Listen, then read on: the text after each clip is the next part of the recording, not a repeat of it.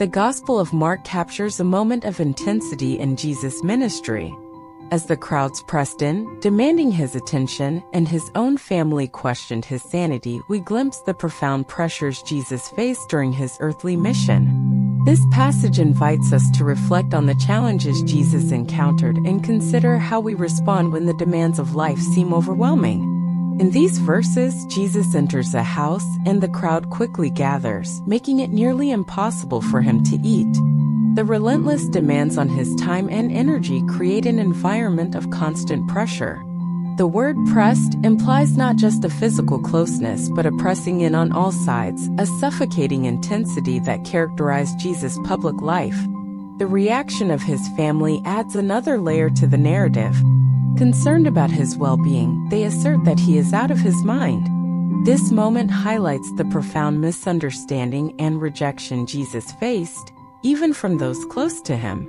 His family, perhaps well intentioned, struggles to comprehend the enormity of his mission and the divine purpose behind his actions.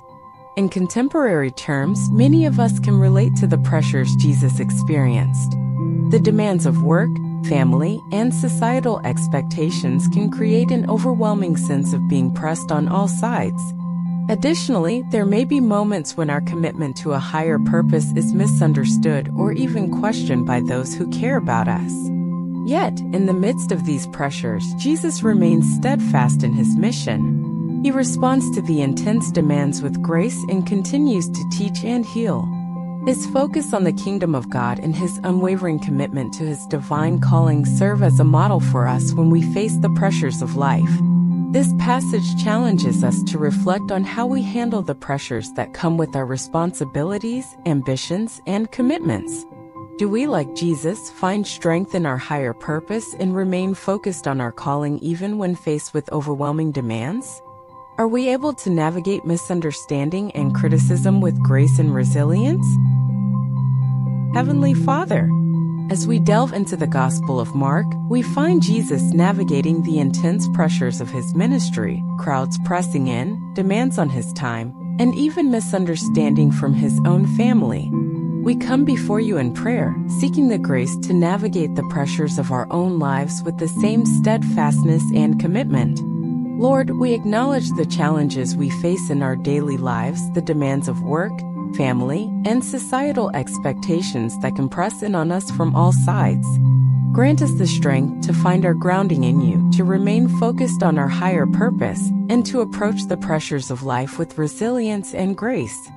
In moments when our commitment to a higher purpose is misunderstood, help us respond with love and patience.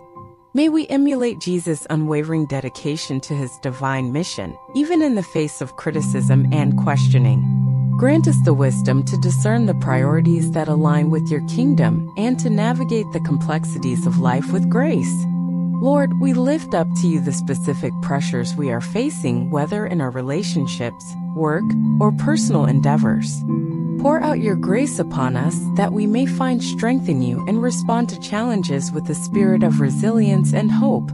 Help us to bear the burdens of life with grace, trusting in your guidance and provision.